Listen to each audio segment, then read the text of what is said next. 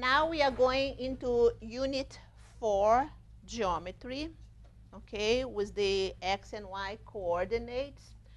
And this is a very interesting question. Let's take a look at this. Here it says a four-sided figure is formed by four points with the coordinates shown below. So you have the four coordinates here, okay? What else? Roger argues that the figure is a rectangle because it looks like one, which is something I say, don't, don't say it is just because it looks like it. It needs to be written, it needs to be shown somewhere in a picture. So he says that this is a rectangle. Is, this, is he right? Is this true? Let's talk about the rectangle. What do you want? What do you need to call a rectangle?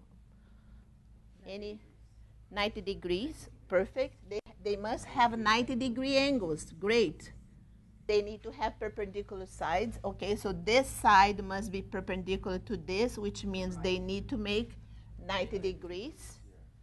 How, how, what, how about this side and this side? What do they have to be? Adjacent. They, No, parallel. parallel. Perfect.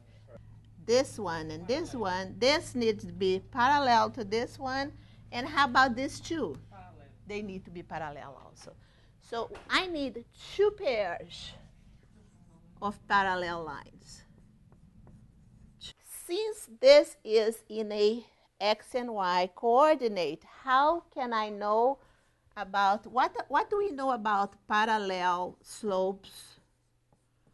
If two lines are parallels, what happened to their slopes? Same. They are the same slopes. So if the slope of one is 3, the slope of the other one is 3, right? So they must have the same slopes. So let's check if they have the same slope. Since we have the graph, the fastest way is to do rise and run. So let's do the blue, the two blue lines first and find the rise and run. Wow, it's the same slope. So yes, they are parallels, right? They have the same slope, so they are parallels. Let's see if these two have the same slope. Okay, I'm going to rise 2. So rise 2. And then I'm running to the left, negative 3. So the slope of this red one is negative 2, 3. Okay, let's see the next one. If this slope is the same, then all of them are parallels. 2, negative 3. Bingo. They all have the same. This is parallel to this, and this is parallel to this. 2 and 2, minus 2 thirds, minus 2 thirds. So this is checked. I have two pairs of parallel lines. Now, do I have 90 degrees? In order for me to call a four-sided figure a rectangle, I need to have these two conditions. How do I know if they are 90 degrees? Perpendicular uh, uh, lines have inverse, opposite inverse um,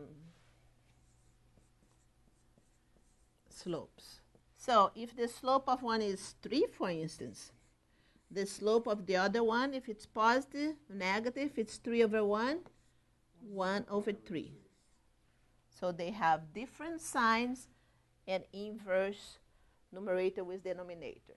Well, what's the inverse of 2? Would be minus Negative half. 1 half.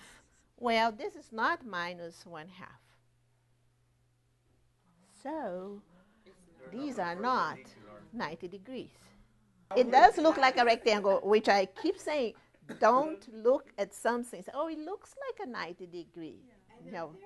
It needs to say they are parallel, but they are not 90 degrees. You think I bet my life on it? So which one is correct answer here? D.